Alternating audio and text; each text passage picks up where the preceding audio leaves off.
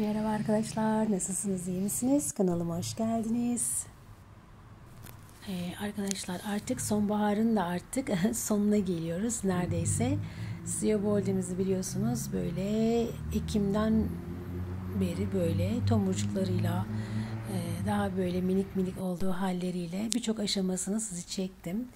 Artık bu görseldeki gördüğünüz e, siyaboldi en son böyle çiçeklenmiş hali.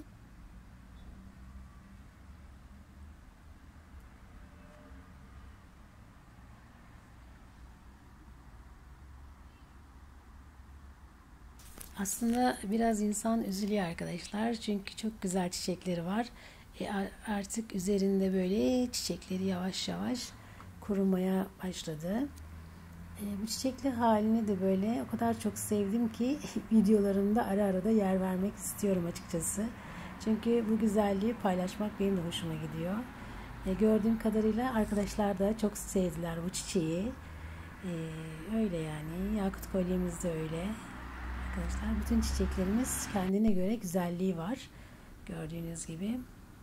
Aslında böyle birbirlerini tamamladıkları zaman çiçeklerin çok daha güzel olduğunu düşünüyorum ben.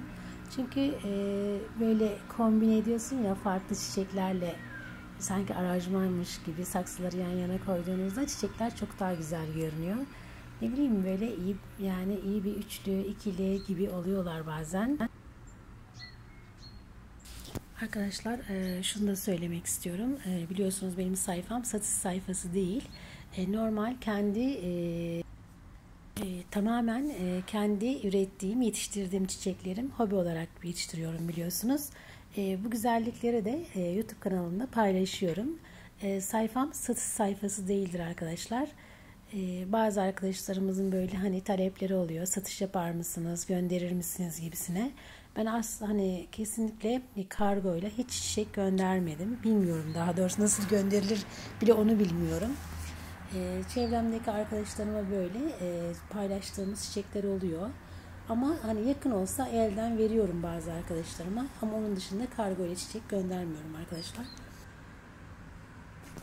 Arkadaşlar zaten e, bazı çiçekleri yani beğendiğimiz çiçekleri ben de birçok çiçeğimi seradan alıyorum biliyorsunuz. E, böyle küçük küçük böyle 5 santimlik saksılar içinde çiçeklerimizi alıp e, büyüttüğüm çiçekler çok fazla olmuştur. Yakıt kolyesi tesbihleri aldığımda o kadar küçüklerdi ki böyle bir dal falandı. Onlar iki sene içinde maşallah bu seviyeye geldiler arkadaşlar. Şu anda çok güzeller.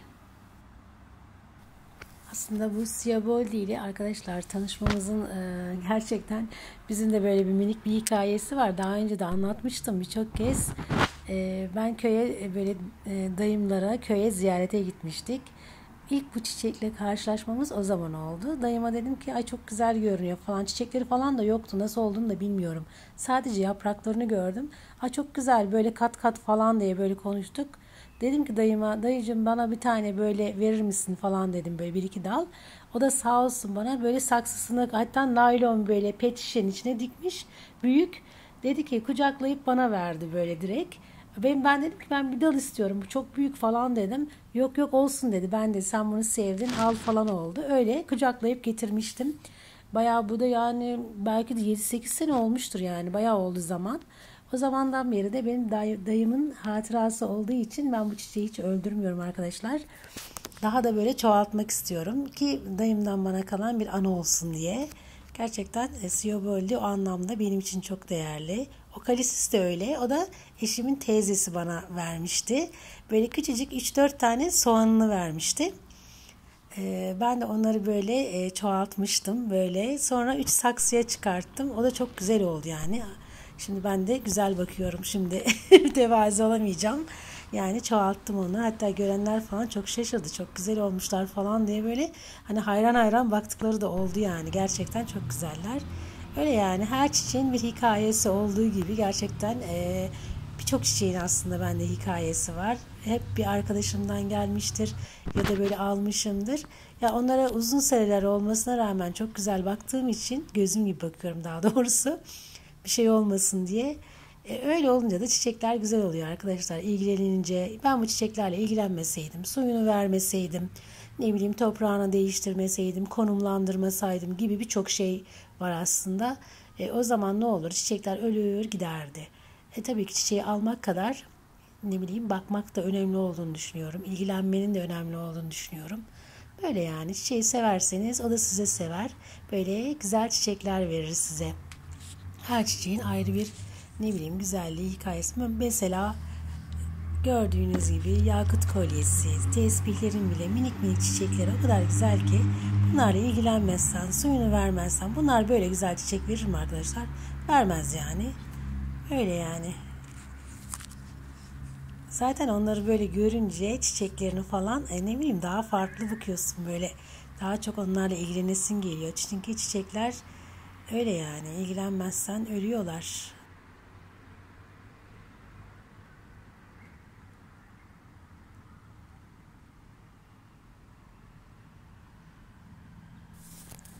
Selim palmerimiz de arkadaşlar baya böyle artık e, gelişmeye başladı. Minik minik tomurcuklar bile oldu üstünde. Bunlar Eceverya eleganslarımız. Bunlar da çok güzel oldular. Yazın e, birazını kaybettim hatta. Ama şu anda gerçekten diri diri güzel oldular. Bunlar e, fesleğenlerimiz. Biberlerimiz saksıdaki. Bunlar arkadaşlar yaz boyu dökmedi. Şimdi dökmeye başladılar. Bu arada arkadaşlar artık e, böyle gördüğünüz Siyaboldi'nin çiçeklerinin e, kurumaya yüz tuttuğu hali bu. Artık yavaş yavaş geçiyor. Her şeyimiz sonu olduğu gibi çiçeklerin açma, tomurcuklanma, açma, sonra kuruma gibi evreleri var. Böyle yani. Bu kuru çiçeklerini döktükten sonra arkadaşlar e, böyle hemen yapraklarının kurumaya dönmeden saksı değişimi yapmayı düşünüyorum. Belki çiçeklerin uçundaki tohumları da böyle iyice kuruduktan sonra alıp onları da böyle denemek istiyorum. Bakalım nasıl olacak gibisine. Öyle de olabilir. Kanalımı izlediğiniz için çok teşekkür ederim. Hoşçakalın, mutlu kalın, çiçekle kalın.